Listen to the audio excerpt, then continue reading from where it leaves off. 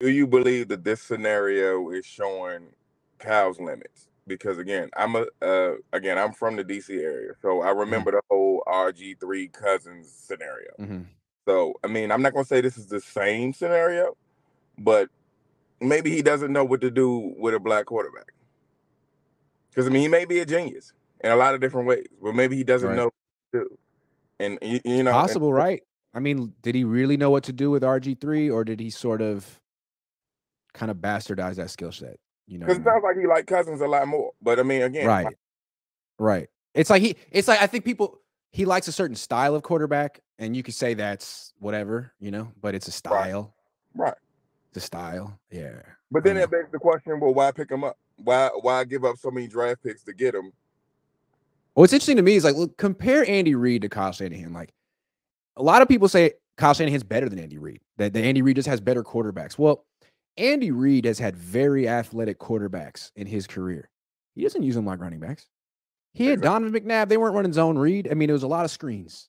Exactly. He had uh Michael freaking Vick.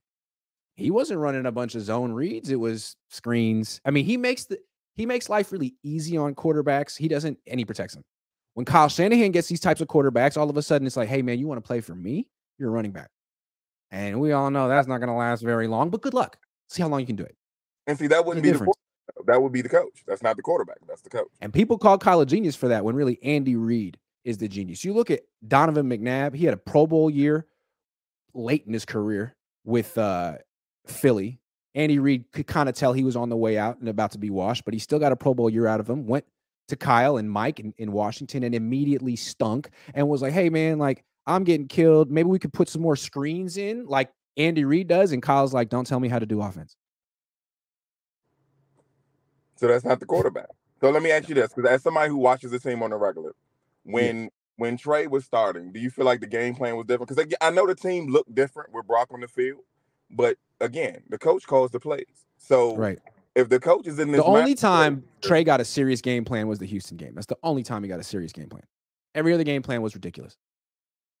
Okay, but wasn't there? But but I do believe wasn't there a little something with uh Jimmy playing around as well with that? Like, cause wa- was that not one of the games where uh we didn't know he was kind of iffy, so nobody knew if he was going to come in on Which that? one?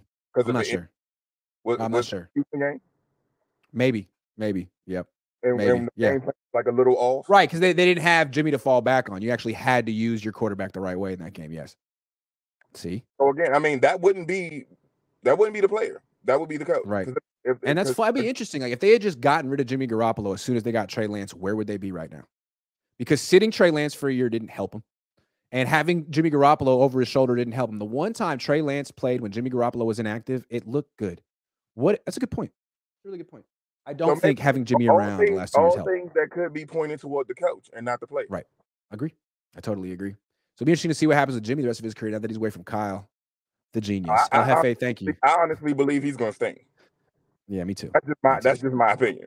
I think that's on him too. Jefe, man, good to see you. All right, man.